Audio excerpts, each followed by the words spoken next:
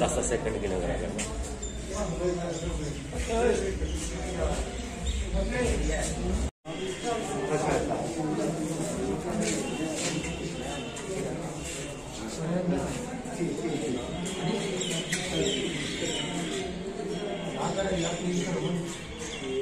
जय हिंद। आज हमारी एनजीओ एंटी क्राइम टीम ने बिश्नाह पुलिस स्टेशन में।